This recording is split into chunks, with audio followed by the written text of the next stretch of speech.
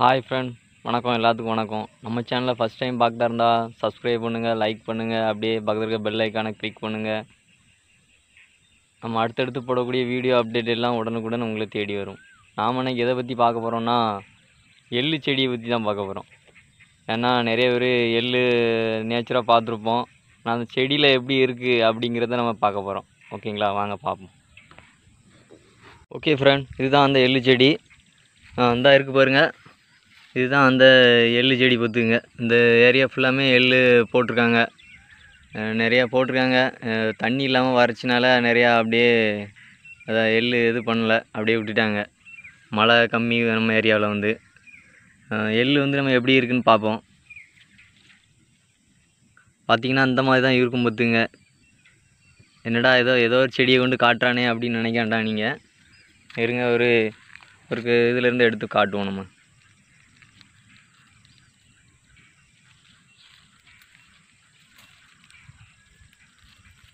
எள் வந்து நம்ம தொட்ட உடனே அப்படியே உதிர்ந்து ஓடிடுது ஆ இதில் பார்ப்போம் இது வந்து காஞ்சு காயற ஸ்டேஜ் ஆயிடுச்சு பார்த்துங்க. எள் வந்து ஓவராக வெடித்து செதறத ஸ்டேஜுக்கு வந்துருச்சு. ஏன்னா இதை அப்படியே பறிக்காம விட்டதுனால அப்படியே எல்லாம் போயிடுச்சு பார்த்துங்க.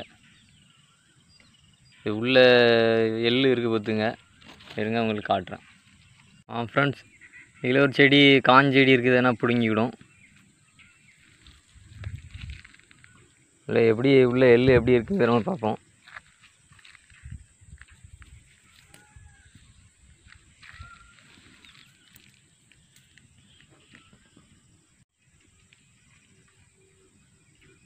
நம்ம இதை ஒன்று பறிச்சிட்டோம் கையில் தட்டுவோம். பார்த்தீங்கன்னா தெரியும் எள்ளு நம்ம அதில் தட்டுவோம் இது எப்படி இருக்குன்ட்டு. ம். இங்கே பார்த்தீங்களா எள்ளு எப்படி இருக்குன்ட்டு. இதுதான் நேச்சர் எள்ளு பார்த்துக்குங்க ஏன்னா நம்ம நல்லெண்ணெய் எல்லாமே இதில் தான் தயார் பண்ணுறாங்க இந்த எள்ளில் தான். எள்ளில் நிறையா மருத்துவ குணம் இருக்குது உடம்புக்கு குளிர்ச்சி அப்படிங்கிறாங்க. ஆனால் அந்த எள்ளு செடி எப்படி இருக்குங்க பாருங்கள் இதுதான் அந்த எள்ளு செடி. காய் எப்படி காய்ச்சிருக்குன்னு பாருங்கள்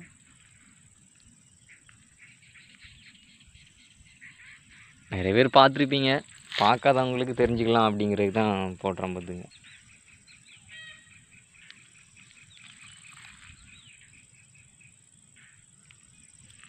ஓகே இந்த ஏரியா ஃபுல்லாமே எள்ளு தான் போட்டிருக்காங்க.